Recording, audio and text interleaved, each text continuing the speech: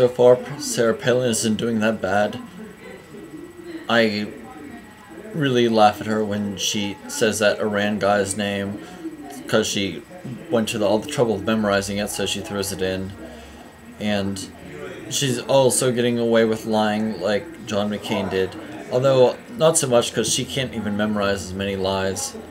But she's, she's doing better than I expected. It's not like she's being asked trick questions like, do you read a magazine, do you read a newspaper, like Katie Couric asked her. She's only being asked the questions that she was asked to memorize by her comrades, and she knows the answers, more or less.